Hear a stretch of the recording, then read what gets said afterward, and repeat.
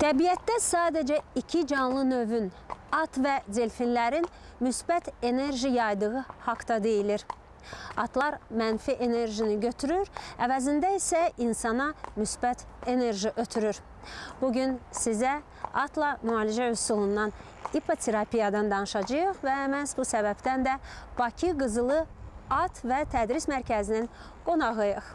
Müzik